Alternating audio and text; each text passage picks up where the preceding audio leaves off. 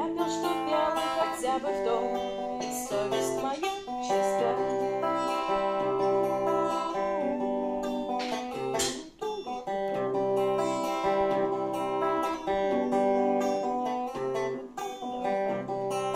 И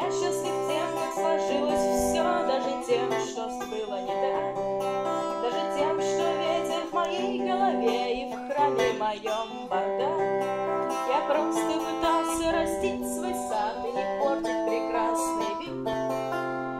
И ночная застава поймет меня, и беспечный рыбак простит.